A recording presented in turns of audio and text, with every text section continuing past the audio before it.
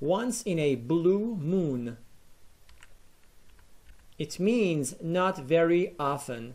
For example, my sister lives in Alaska, so I only see her once in a blue moon.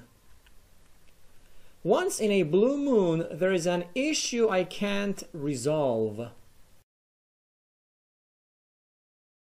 So cortisol reverses the process, gets it into the bloodstream, and all of a sudden you have a little bit of extra energy for the brain, the heart, and the muscle tissue to respond to the external stress. Make sense? Right? Now, that's cool once in a blue moon. That's cool if, you know, all of a sudden you have to catch the train, and if you don't catch the train, you're going to miss your plane, and that's really great.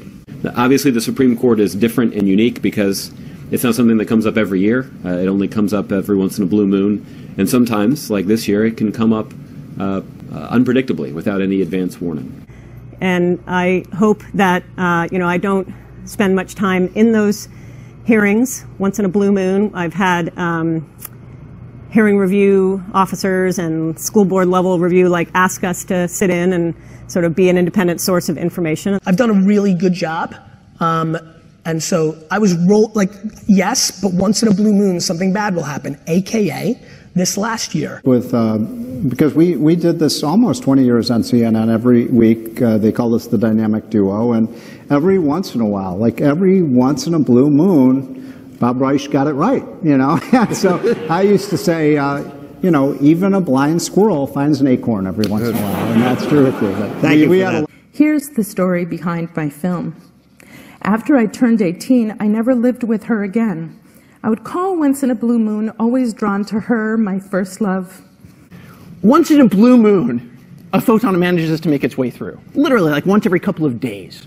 Okay? Now, or a couple of hours, I think. So, it's going to take a long time to get any sort of statistics. We don't have the problem of things being so overpowered that people are reporting trivial but significant effects. That, that happens once in a blue moon. But if we get to the point where we have that problem, I'll be happy to deal with it.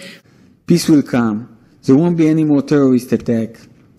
And even if once in a blue moon there is one, there will always be someone original, someone with a little vision around to describe it perfectly. You know, when you see that something happens to a child, and every time I see it, and you know, I get the Los Angeles Times, and you see something, you know, once in a blue moon, and it starts talking about the social worker had gone out and something had missed something or how whatever the situation was. I think, oh, that poor person.